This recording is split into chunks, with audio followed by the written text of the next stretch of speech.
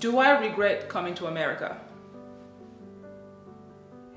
Well, I married the devil.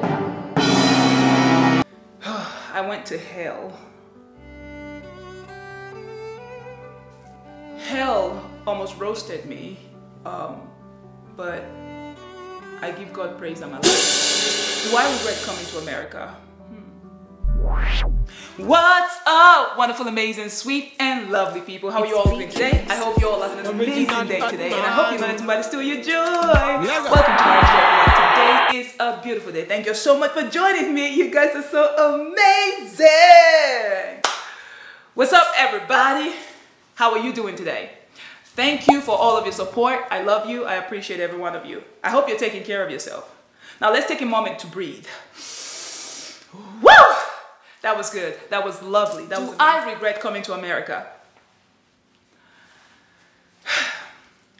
When I was coming to America, I thought that I was coming to a land flowing with milk and honey. I thought that everything was going to be easy. I thought that if I worked hard and applied myself, that I was going to really enjoy the fruits of my labor, that everything was going to be immediate for me. I thought that my prayer for abundance for myself and to be able to help my family out was going to be like, you know, answered. I thought it was the heaven on earth when I was coming to America. I had high expectations. I was ready. I was excited. I came with the expectation that I would be instantly, as soon as, as soon as I got off the plane and stepped on the airport, and I'm like right in America, I'll start like plucking money out of trees, you know, I become a multi-millionaire. Start saying, hey, what's up, everybody? I just got here and now I'm a multi-millionaire. I thought that life was gonna be so good, so beautiful, so amazing. Like, oh my gosh, I'm walking over there with my shoulders high, you know what I mean? Saying, hey, what's up, everybody? I'm rich, I'm rich, I'm American now. I thought it was gonna be that easy, but I was wrong. I was very wrong. In fact, I thought that I suffered while I was in Nigeria. I thought that I had some setbacks, which were really hard at the time that I was going through it. With teammates ganging up against me, the coaches being like, uh, you know, partial in their treatments, like being like having favorites and not really giving you the opportunity you needed. Not all my coaches though. There were some coaches who knew that they had to give me that opportunity. So uh, shout out to all my amazing coaches, Coach Chubi, Coach OBJ, Coach Eddie in Nigeria, ABU Zaria. Shout out to all of you. You guys are awesome. You always gave me that opportunity and I appreciate every one of you. Now, I played for a team in Nigeria. I mean, shout out to the coach too. I mean, he, he recruited me and I went, but you didn't give me all the opportunities I needed. Anyways, I'm grateful. I went through some stuff, but I didn't know that what I was going to go through when I came to America was going to be way harder than anything I'd ever experienced in my life. When I came to America, I had high hopes, very high hopes. Like I thought that I was just gonna be a multimillionaire as soon as my feet, my feet touched the soil of America. I felt like it was just gonna be my holy grail. Like, oh my gosh, everything, I'm just rich. I'm, I'm like, I'm gonna be in the WNBA playing with Lisa Leslie, but playing with Candace Parker. So I went to college, first college I went to.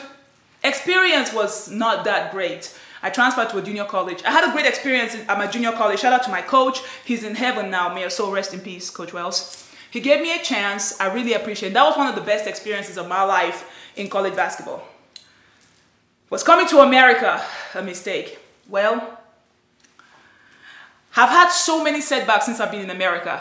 I had high hopes when I was coming, but I was going to be getting a rude awakening by stepping my, my butt my brown butt, my African Nigerian butt on the soil. I was ready to work hard to pluck that the dollars out of the trees in my backyard because I thought that dollars grew, you know, in the trees in the backyard. You know what I mean? But anyways, I came. It's been a lot of struggle. I've struggled a lot. In college, I gave my best, gave my all. When I went to uh, my four-year college, Georgia State University, the experience was not, that great. There were things about it that were great. The coach was also partial in the sense that there were certain people she chose and it was just it was just not a good experience i felt like i was picked on but I, I, I didn't stop there i was still stubborn doing my thing anyways then i met the devil then my life went on another spiral got pregnant with my first child while waiting for my documents to be completed um, delays, financial struggle, pain, suffering. Lost my first child, heartbreaking. I have often wondered if what would my life have been like if I had stayed back in Nigeria and just focused on my basketball and my studies and done other things? What would my life have been like? I've thought about it. But was coming to America a mistake? My answer is no. It was not a mistake. I have met some of the most generous, amazing, wonderful, loving, kindest people in my life since I've been in the US. During all the struggles, in the midst of it, I always had light around me. Shout out to my amazing family, Beth and Joe, Butch and Sharon, my Lamar family. Oh my goodness, amazing people in Lamar community where I went to junior college. Shout out to all the amazing people I've met throughout my journey in the US. Shout out to the people here in Georgia, Atlanta. But the most amazing, well, my, my family, Beth, Joe, Butch, and Sharon, you guys are amazing. I love you guys very much. But I just I just need to give a shout out to some people like who really deserve who who are like some of the people who have made it so worthwhile for me to be in the US. Shout out to all of you YouTube subscribers. Maryam's Joyful Life, who have been there from the start since 2014 when I started. Shout out to you all. Mm. Give yourself a round of applause. You guys have had my back. Some of you guys have been there with me. You connected, you loved me, you showed me support.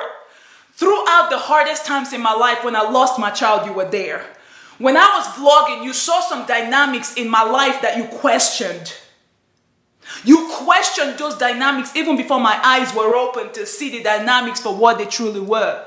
Shout out to you all. My coming to America has been so worth it, more than worth it because of you guys. Oh, hold on. My children. My children too. I am so grateful for my kids. It gives me so much joy being a mom, taking care of two amazing, lovely, wonderful kids. I love my kids so much. I'm grateful. I don't regret coming to America. It was not a mistake. Throughout the struggles and the triumphs and the pain, throughout the struggles and the pain, the heartbreaking situations that happen, hope always arose on the inside of me, if I can say that English. Anyways, I always had hope. Hope came in form of you guys who located me. Some of you guys who subscribed to my channel, who showed me support, who were there with me when I was going through intense struggles and pain. Shout out to you all. I give thanks for this country. In spite of the fact that this country has whooped my butt, I went to hell in this country. Also in this country, I came out on the other side on fire. I found heaven. I'm grateful because in spite of all that I've been through, all the struggles, the pain, the heartaches, I'm alive. I'm no longer struggling. I endured many years of struggles and pain and heartbreak, disappointment, setbacks, poverty, and lack in America, more than I ever did even while I lived back in Nigeria. But through it all, I'm living well now. All of it introduced me to the life that I'm living now. All of it woke me up. All of it showed me that God's grace is real. In the midst of it, God brought angels into my life who held my hands when I needed somebody to hold my hands. Who had a shoulder on, uh, I mean, a hand on my shoulder when I needed somebody to tell me, Maryam, everything is going to be okay. Who gave me virtual hugs when I felt like it was too hard for me to go on. Who showed me support in the midst of hell. Who gave me water to drink when I was going through hell and I was dying, I was thirsty.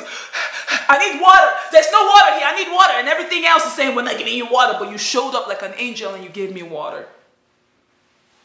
Was coming to America a mistake? No.